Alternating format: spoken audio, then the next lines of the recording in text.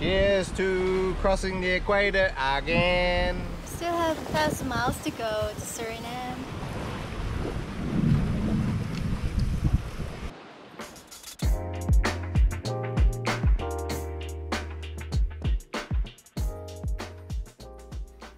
Hey crew. Just wanted to have a bit of a chat to you about what we do, I guess, or what I've striven to achieve, which has taken me a long time. Maybe I've been dreaming about going cruising around the world for 25 years. so it it's been a long process. I mean, I've been I've had distractions. I had my career and everyone has their own thing, whether it's their family, um, perhaps young children going to school, um, a career, or illness, or anything is a distraction from what you want to ultimately achieve this dream of uh, going cruising around the world. I remember planning this for so long, reading so many books, every book I could get hold of um, about cruising. And I was pretty bewildered at one point for actually for a long time. I was like, how the hell am I going to be able to afford to do this? How can I stop work? How can I get the boat I need? What is the boat that I need? You go from your job, your family, normal life, car, house, dog, to living on a cruising boat and sailing around the world. How do you get there? I think I've identified there's four main things that you need to go cruising. There's possibly five. The fifth one, uh, and it's not. I don't want to include it really, but but it's your health. Um, whether you're physically able to handle a winch, pull down a sail, so that's I mean it's all it's almost a given. So let's not talk about health because that's a given. You know, you're not going to even get in your car if you're not fit to do it. So um, let's forget about that. So there are four things that you need to make cruising your life. Money, yes, of course, you need money. Time, and that's a big one.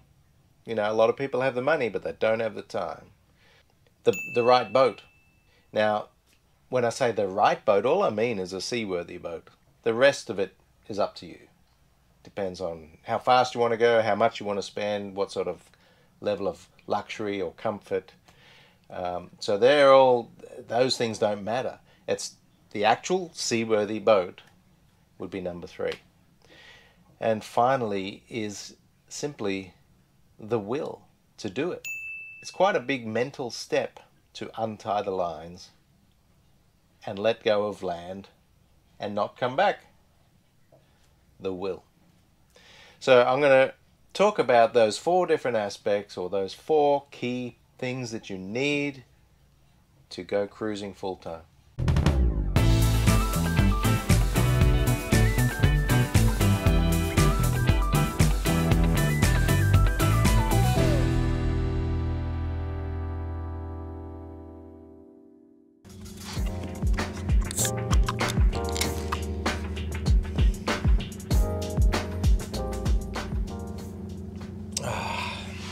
Hey guys. So I think I promised you that uh, we were going to talk about the four key areas that you need to go cruising full time. So the first one I mentioned was money. So what about money? How much do you need?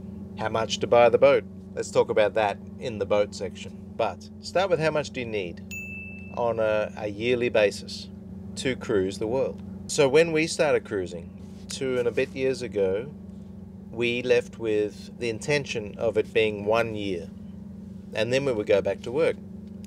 All I had was my savings uh, in the bank.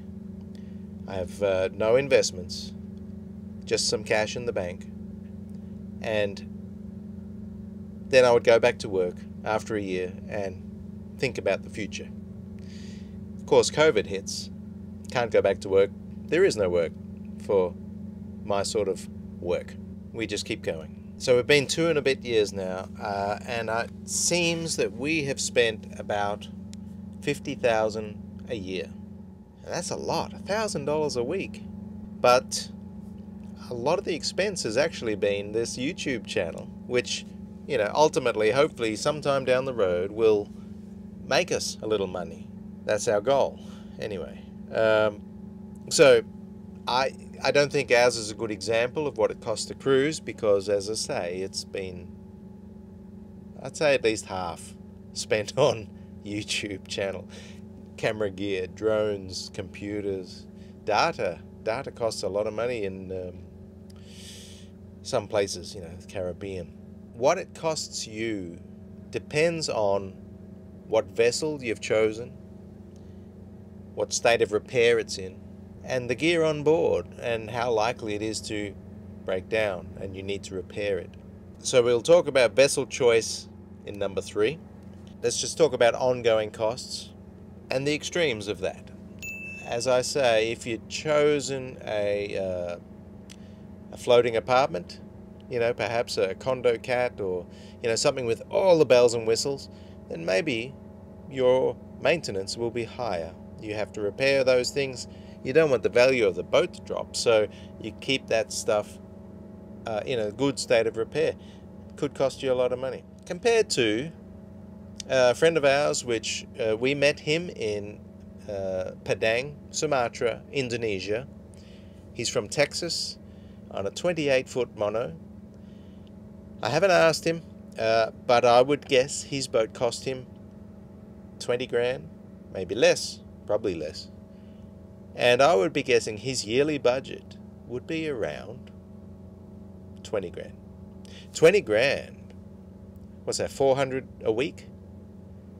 That's a lot of beer and food in a lot of the parts of the world. You know, Asia, Africa, that's a lot of beer and food, 400 bucks a week.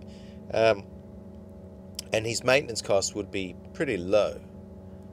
For on a small boat, you can do most things uh, yourself, obviously. On a small boat, you've got a lot less to fix. So these are probably the extremes with regard to the cost of upkeep. Another extreme cost saving that you can make is if you DIY your maintenance. We do as much as we possibly can on Jupiter. And the only time I've hired, the last time I've hired a guy to do uh, work on Jupiter was uh, some welding because I didn't have any welding gear.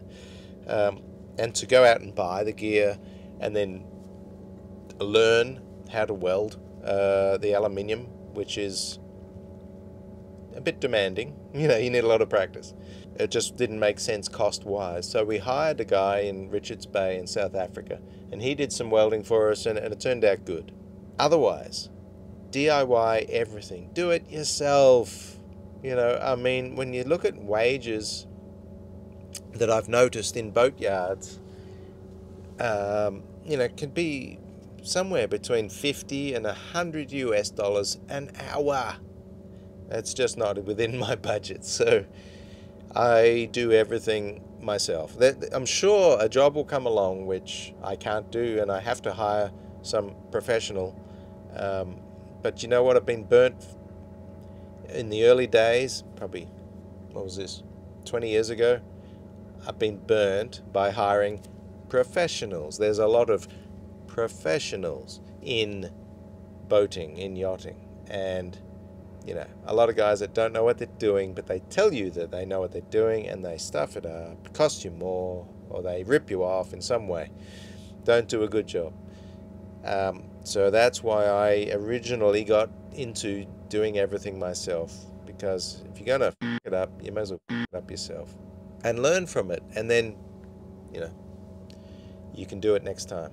Another choice that is yours to make about how much it costs to go cruising is marinas. We don't do them. We have done marinas only when absolutely necessary. And and one was Cape Town, South Africa, because the weather was so severe um, that you don't want to be on the hook with the wind changing constantly. And we had gusts. We had constant 40 knots for days, and we had gusts up to 70 knots uh, just in the time we were there. So uh, we were thankful to be in a marina. That was the last time we were in a marina for any length of time. We we stopped now and again in a marina, but mostly the purpose is to pick up packages so that we send shipping uh, packages, parcels, shopping to the marina, and then of course you got to stay one night just so you can pick up your package. The rest of the time we're on the hook, and that's a extreme cost saving. Uh, the cost of Jupiter in a marina is well, a catamaran is typically two times the cost of a monohull because you're taking up two spaces, and that's even if you're on an end berth, they charge you that. You know, an end berth is, you know, doesn't matter how wide you are, but typically 100 to 150 dollars a night. So we don't do marinas when we can have only when absolutely necessary. So I would hazard a guess to say it costs you between twenty and fifty thousand dollars a year. Uh, there's obviously no roof to it. There's no ceiling. Let's say, let, let me rephrase this. It'll it'll cost you from about twenty thousand dollars upwards, depending on your choices. Can you make money on the way? Now I thought about this long and hard how I could make money on the way. You can make a little bit here and there if you've got some skills. And if you're a DIY guy, you got some skills. You can offer those skills to other cruisers. And I've found it's about half and half. Uh, there's half and half DIYers and get a serviceman for everything is there's at least I'd say 50% of people. Um, I'm just ballparking here, but probably 50% of people don't do any repairs. They pay someone to do it. It could be as simple as scrubbing the bottom. Antifouls a bit, you know, blah. Need someone to scrub the bottom. We've got friends that hired and paid 300 US dollars to scrub the bottom of their boat. And why don't you just do it yourself? Three hundred dollars is a lot of money for us. So I would have charged two fifty. Could have got two hundred fifty bucks in an afternoon's work. It could be, you know, fixing things. It could be trading things. Ideally, I sort of thinking if he had some sort of online business, that would be ideal. I don't really have anything like that, um, but we're sort of working on it with the YouTube thing. You know, maybe one day it will cover the costs of the camera gear and drones and computers that we need to buy. One day we'll make some money from that. Um, always a challenge to keep good internet coverage, though. You know, when you're sailing, um, and it's expensive too. You know, you can pay a lot of money for data in different countries. Some places is cheap, but uh, some is not.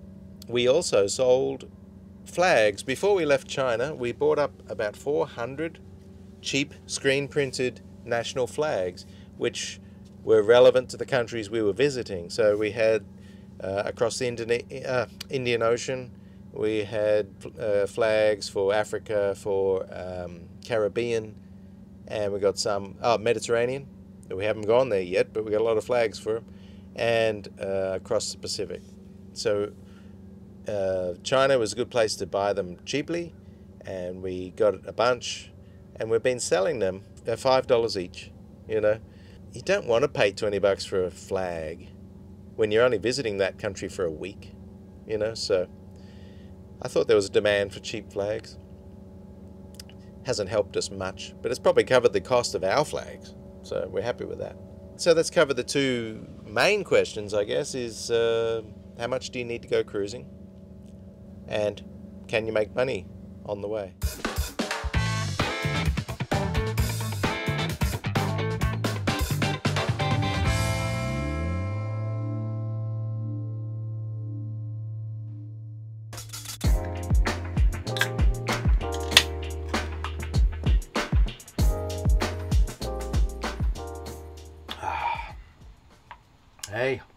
To this week's Sundowners.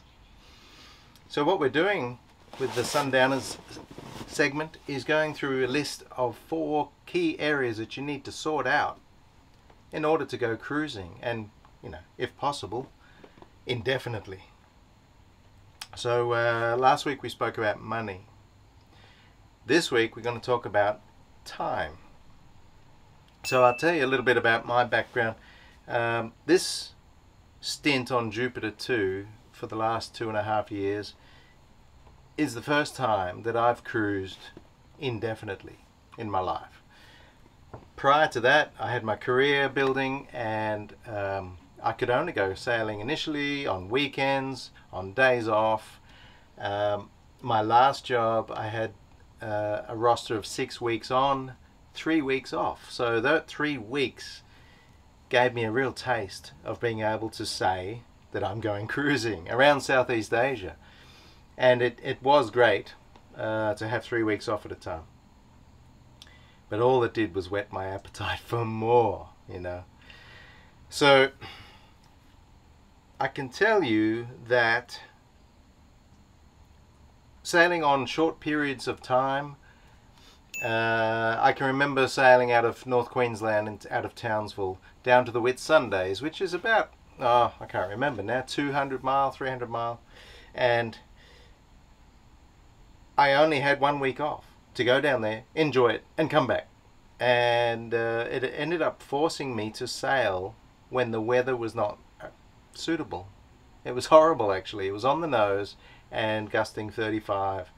And I was in a crappy old ferro cement mono, which was uh, that was my second keel boat, and it just didn't sail very well. It was too heavy. the The sails were too tired, and um, it was a terrible trip. Motor sailing for uh, 43 hours non-stop, no sleep. It was horrible.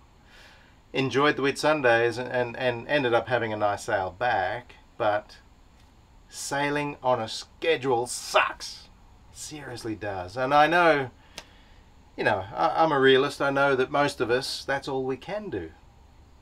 But let me tell you, the amazing feeling of sailing without a schedule, sailing when the weather is right, it is a complete change and just so much more relaxing.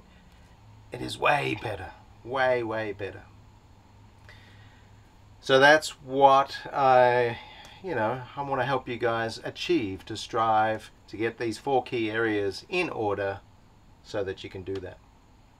So, if you were just to have some time off work to go sailing, how long would you need to get a real good taste of it? I would recommend four months. I know that's a long time to ask your boss, can I get four months off work? But Four months will give you a good taste of the Caribbean if you're coming from the States. It'll give you a good taste of the Med if you're coming from Europe. And it'll give you a good taste of Southeast Asia if you're coming from Australia or New Zealand. So four months is the sort of a nice time frame to aim for to get a real taste of cruising without a schedule. So let's now talk about timing in your life of when you can go sailing. Now, hang on a minute. Ah, this is obviously not going to be a simple subject and it's going to be different for everyone and I don't have the solution, only you do. Um, things, there'll always be obstacles in the way of you going sailing full time. Always. And that brings us to the end subject of having the will to make it happen. You're going to have, oh, kid's got to finish school. Kid's got to finish uni. Oh, when I retire. Oh, when I've got enough money. Oh, when my wife's happy on the boat. She's not very comfortable. There's everything We'll be trying to hold you back from untying the lines. So that's when it comes down to your will. And how important is it? That's only up for you to decide. I can't decide that for you, but it's not an easy change. it is a complete lifestyle change. So you have to work out your own timing, but all I can offer is perhaps the, the way I've always thought about it, um, even since age 30. I was always of the opinion that I may die tomorrow. So get it done now. Get it done because you wait, you may be too late. Cheers.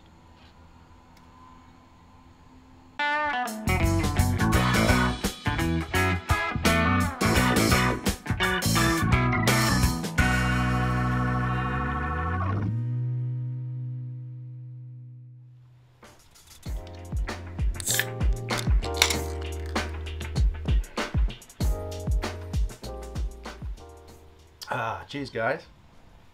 Welcome to this installment of Sundowners. So, we've been talking about uh, the areas that you need to address to get in order to go cruising, yeah?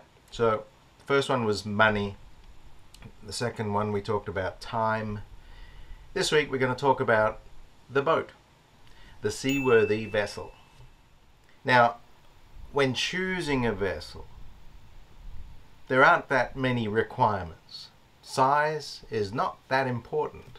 I'll always remember and be inspired by uh, an Aussie who built an aluminium, yes, aluminium, 12 foot monohull, which he sailed around the world. He built the boat himself, sailed it around the world, and um, perhaps he still holds a record. His name is uh, Sergi Testa and his boat was called Acrohc Australis. And it's, it's in the Brisbane Museum and just made me realize if you have a seaworthy boat size is not relevant. Only for comfort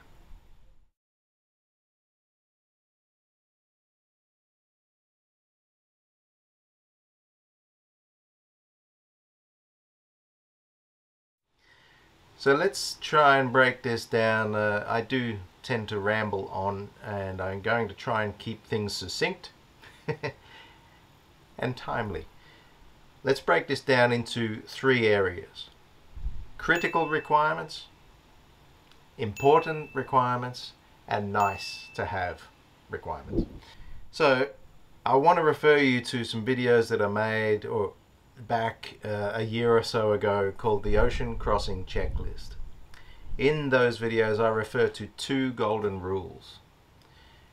Number one golden rule for successful and safe cruising is keep the water on the outside.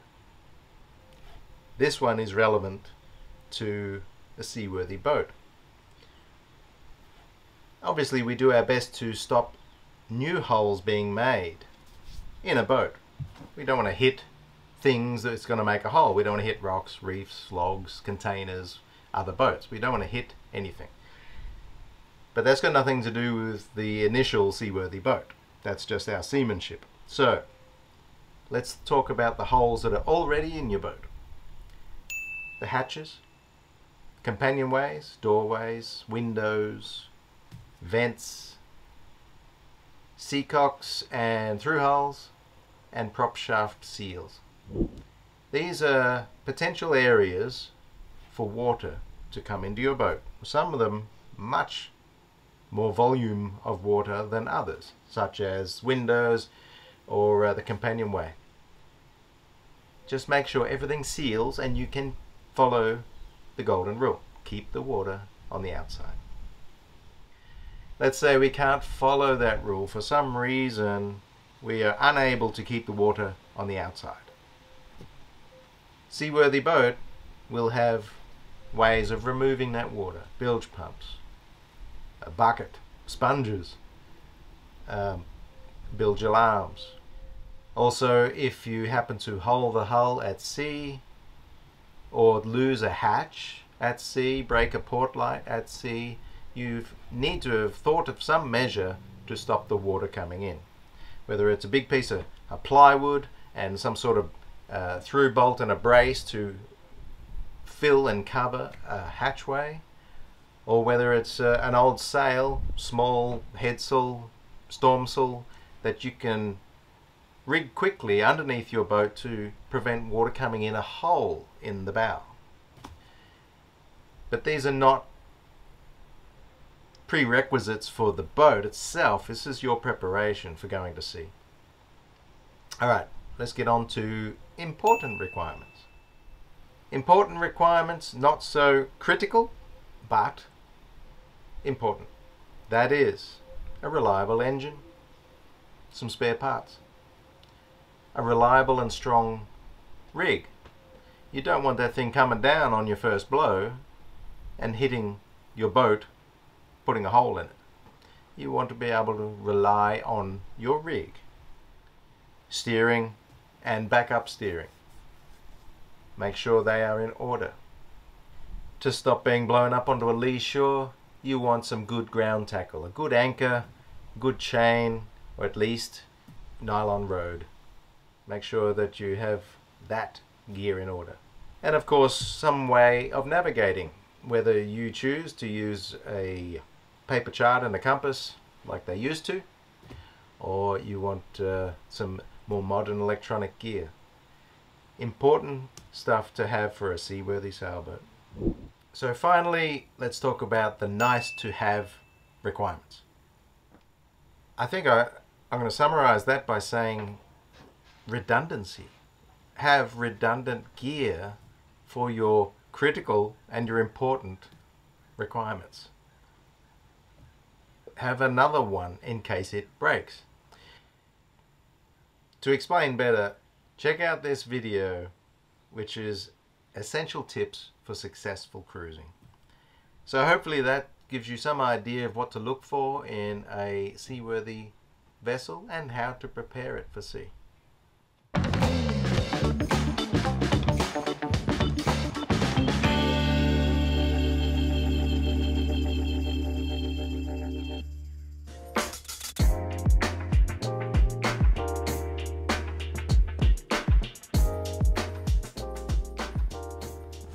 Hi guys. We're talking about a list of four things that you need to get in order to be able to go cruising. First week we talked about money. Second week we talked about time. Last week we talked about the boat. This week we're going to talk about the will to go cruising. But I'm thirsty. Uh, all right. Most folks have a desire, a want, an ambition, a dream. Dreams are good. Dreams make you happy when you think of them. But they can also make you sad, frustrated, depressed when you don't have your dream in hand. So, what about goals? What's the difference between a dream and a goal? Let me tell you. A decision with a deadline, a time frame, a decision. In order to go cruising, you have to make the decision that you will go cruising. I think I read um, somewhere years ago about goal setting, and a survey was done. If you were to write down your goal, the statistics say it's about a 30% more chance that you will achieve that goal. If you tell somebody, you have a 50% more chance of achieving that goal. Now, these stats I'm not positive on, that's just a ballpark, okay? It's the gist of the survey if you are to tell everybody, tell the world your goal, you are 70% more likely to achieve that goal. So once you've made that decision, tell everybody, tell the world. You can now, we've got Facebook. Tell the world. Let everyone know your goal. To actually untie the lines To quit job, go sailing, TM, you need to set the goal, make the decision with a timeline, with a deadline. You might have heard the saying, good things come to those who wait. It's bullshit. Doesn't happen. Doesn't work. You need to be taking, once your decision is made, you've set your timeline, you have to be working every day closer to the goal of cruising. Whether it be researching equipment, uh, looking at boats for sale, destinations, looking at pilot charts, planning you at the time of year you're going to cruise, watching Life on Jupiter just for inspiration. You need to be taking steps every single day to get to that goal. Otherwise, it's not going to happen. So, perhaps I'm oversimplifying this, but it really isn't that hard. It's make the decision, set the date, do the work every day to get to your goal. Cheers. Oh, by the way, this process works for anything in life that you might want